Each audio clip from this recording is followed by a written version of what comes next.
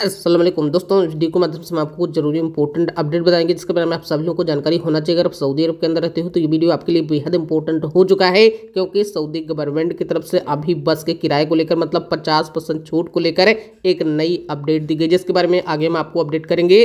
और हम आपको बता दें कि सऊदी अरब में अभी जितने भी लोग रहते हैं, उनके नागरिकता को लेकर भी एक नई अपडेट है। और भी रिलेटेड जानकारी, सारी जानकारी इस वीडियो में आपको बताएँगे। आप जो पूरा देखिए, ताकि आपको पूरी जानकारी मिल जाए। दोस्तों, वीडियो में आगे बढ़ते पहले मैं आपको बता दें कि आगे हम आपको बस के डिस्काउंट के बारे में अपडेट करेंगे और अभी नागरिकता के बारे में अपडेट करेंगे। लेकिन उससे पहले मैं आपको बता दें कि सऊदी में अभी सुप्रीम कोर्ट की तरफ़ से आदेश जारी किया गया है। कहा गया है कि रिबेट हिलाल की स्थापना कमेटियाँ वेदशालाओं में चाँद देखने की कोशिश करें। मतलब चाँद को अभी देखने की कोशिश करें और सुप्रीम कोर्ट की तरफ़ से ये भी अपडेट किया गया कि उम अल कुराई कैलेंडर के अनुसार मंगलवार मतलब 21 मार्च, उनतीस सबान है। मतलब पहली सबान 21 फरवरी को है और जिसके अनुसार 21 मार्च को उनतीस सबान माना जाएगा। इसी आधार पर सुन्नत का पालन करते हुए इस दिन चाँद देखने की गुजारिश की गई है सभी लोगों से। दोस्तों, सऊदी की अगली अपडेट एक बेहद इंपोर्टेंट अपडेट है। अगर आप सऊदी अरब के अंदर रहते हो तो सऊदी के पवित्र मस्जिद मामलों के जनरल प्रेसिडेंट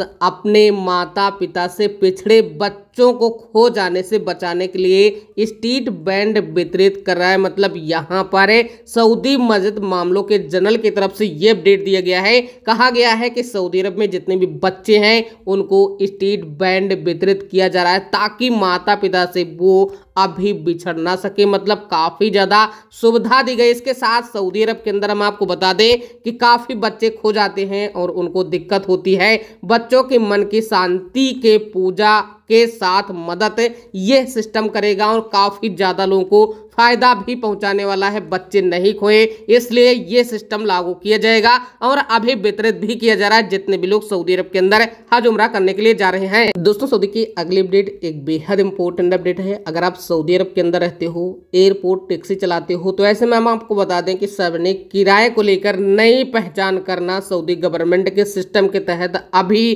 कार्य स्टार्ट कर दिए गए। मतलब सभी टैक्सियों को शामिल किया जाएगा, लेकिन अभी जो हवाई अड्डे की टैक्सी हैं, उनको अलग किया गया है। बाकी आप फ़ोटो में देख सकते हो, हवाई अड्डे की टैक्सी किस तरह से है। बाकी अगर इस तरह से अब कोई भी गलती करेगा, कोई भी उल्लंघन करेगा तो उसके खिलाफ कड़ी से कड़ी कार्रवाई की जाएगी। यातायात विभाग की तरफ़ से कहा गया है कि अभी बिना लाइसेंस के कोई भी इस तरह का कार्य ना करे, वरना उसके खिलाफ कड़ी से कड़ी अभी कार्रवाई तुरंत की जाएगी। दोस्तों, सऊदी की अगली अपडेट एक बेहद इंपॉर्टेंट अपडेट है। हम आपको बता दें कि सऊदी अरब में कई लोग जाते हैं, उनको कई तरह की समस्या का समाधान करने के लिए कई जगहों पर संपर्क करना होता है। इसलिए सऊदी के कर्मचारी के बीच मतलब जो नियोक्ता है उनके बीच में और कर्मचारी के बीच में जो मामला है, जो विवाद है, उसको सुलझाने के लिए चरण के बारे में अपडेट किया गया, कहा गया है कि दोनों पक्षों को संतुष्ट करने के लिए, सौंदर्यपूर्ण समाधान तक पहुँचने के लिए विचार के बिंदुओं के बारे में अभी एक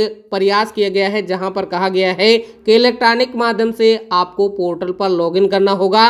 फिर दोस्ताना निपटान मतलब एक तरह से दोनों लोग एक मुकदमा होगा और मुकदमा के सेवन का मतलब यहाँ पर मुकदमा की सेवा को आपको चयन करना होगा जब आप एक फॉर्म ऑनलाइन भरेंगे। और उस दौरान आपका जो फ़ील्ड है मतलब यहाँ पर जो भी बाकी डॉक्यूमेंट है और जो भी बाकी खाने उनको आपको भरना होगा और आगे आपको अपलोड करना होगा। फिर आपका जो भी समझौता है वो तुरंत किया जाएगा और ये आपको साबित करना होगा कागजात के साथ में कि हमको ये चाहिए और हमारे प्रॉब्लम ये हैं। तो ये सारी जानकारी वहाँ पर भरना होगा।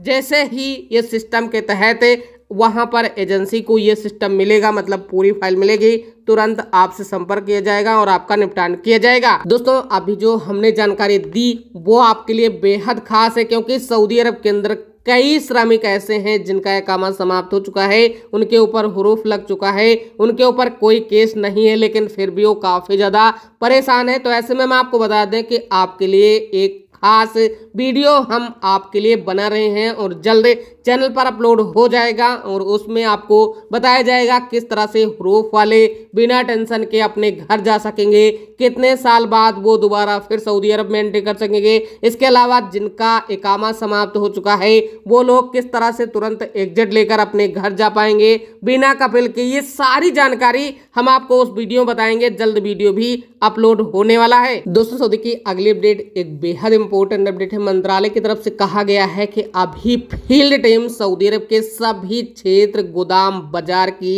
निगरानी कर रहे हैं और लगातार पवित्र महीने के दौरान यह योजना जारी रहेगी ताकि कोई भी, जो भी अगरात है, जो भी सामान है, उसमें वृद्धि ना कर सके और जो सामान है, उसकी पूरी तरह से मूल्य सुनिश्चित करना बेहद ज़रूरी है। यहाँ पर खास बात यही है कि नियंत्रण करने के लिए जो मूल्य है, उसको रोकने के लिए ये पूरा सिस्टम लागू किया गया है और कई लोग भ्रामक प्रचार भी कर रहे हैं। उनको पकड़ने के लिए हैशटैग लगाकर वाणिज्यिक केंद्र में, दुकान में निगरानी किया जा रहा है ताकि जल्द इस तरह के लोगों को पकड़ा जा सके। आमतौर पर लोग पवित्र रमज़ान के महीने में इस तरह की धोखाधड़ी करते हैं, इसलिए उनके खिलाफ कड़ी कार्रवाई की जाएगी। दोस्तों, अगली अपडेट एक बेहद इंपॉर्टेंट अपडेट है। जैसा कि आपको हमने भी अपडेट किया है कि किस तरह से आप सऊदी अरब के अंदर नागरिकता प्राप्त कर सकते हो। लेकिन अभी अभी एक नई अपडेट दी गई, जहाँ पर कहा गया है कि आंतरिक मंत्री के एक प्रस्ताव के बाद में एक राष्ट्रीयता लोगों को प्रदान किया जाता है। इसके साथ प्रधानमंत्री के आदेश के बाद में ये सिस्टम लागू किया जाएगा, लेकिन अभी बदलाव किया गया है। कहा गया है कि सऊदी नागरिकता कानून के कार्यकारी विनिमय के अनुच्छेद 28 को हटा दिया गया है, जिसके लिए आंतरिक मंत्रालय को कानून के अनुच्छेद 8 के अनुसार राष्ट्रीयता प्रदान करने के लिए आवश्यक निर्णय जारी करने की आवश्यकता है। मतलब अब अनुच्छेद 8 के अनुसार आप राष्ट्रीयता पाएँगे और ये सिस्टम जल्द लागू किया गया है क्योंकि पहले कई लोग सऊदी अरब के अंदर राष्ट्रीयता पा चुके हैं। अब इसका पालन किया जाएगा, जो नियम अभी लागू किया गया है। दोस्तों, सऊदी की अगली अपडेट एक बेहद इंपॉर्टेंट अपडेट है, क्योंकि बस के किराए को लेकर है। अभी किन लोगों को फ़ायदा मिलेगा, हम आपको बता दें कि अगर आप बस का सफ़र करते हो तो वहाँ पर पिजरा या कोई भी पालतू जानवर लेकर आप सफ़र ना करें, इस पर प्रतिबंध लगा दिया गया है। अब यहाँ पर बता दें किसको फ़ायदा होने वाला है। अट्ठारह साल से कम उम्र के सभी व्यक्ति, छात्र, विकलांग लोग कैंसर रोगी प्रथम श्रेणी के शहीद 60 वर्ष से अधिक आयु के लोगों को छूट दिया गया है और आगे कहा गया है कि डिस्काउंट कार्ड का उपयोग करने का समय उपभोक्ता को कार्ड की पात्रता का प्रमाण भी लाना होगा। मतलब आपके पास में प्रमाण पत्र होना चाहिए। कार्यालय का समय बताया गया है कि साढ़े पाँच बजे से ग्यारह बजे तक रियाद बस से विशेष छोटे कार्ड प्राप्त कर सकते हो। और यहाँ पर अपडेट के अनुसार ये कहा गया है कि सप्ताह के सात दिन ये कार्य चलेगा। अब यहाँ पर आपको बताते हैं किस तरह से कितना छूट मिलेगा। तो यहाँ पर अपडेट किया गया है कि रियाद बस सेवा, बस के सामने पारिवारिक सीट के साथ साथ रियायती कार्ड प्रदान करती है। ग्राहक को टिकट की कीमत पर 50 परसेंट छूट की अनुमति देती है। मतलब 50 परसेंट आपको छूट दिया जाएगा। पहला चरण भी स्टार्ट कर दिया गया है।